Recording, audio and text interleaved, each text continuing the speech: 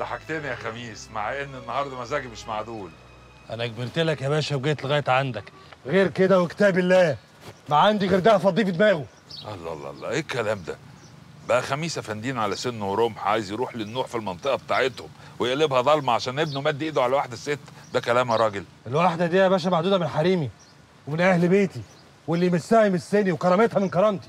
معاش اللي يمس كرامتك يا خميس. أمال اللي عمله ابن النوح ده اسمه إيه؟ لعب عيال لعب العيال ده عندنا يا بيه بتطير في رجاب. رجاب. لا ده الزربونه الصعيدي طلعت.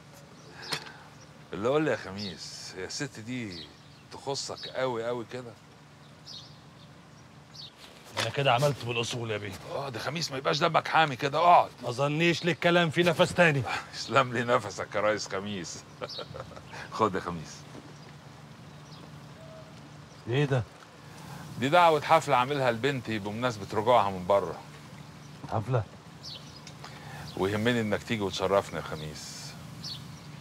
أنا ماليش يا باشا يا. خميس لازم تيجي وتجيب الهانم اللي عايزين نرد لها اعتبارها معاك لأن كرامتها في رقبتنا كلنا واللي هعمله ليلتها. لو ما عجبكش ليك مطلق الحرية تعمل اللي أنت عايزه.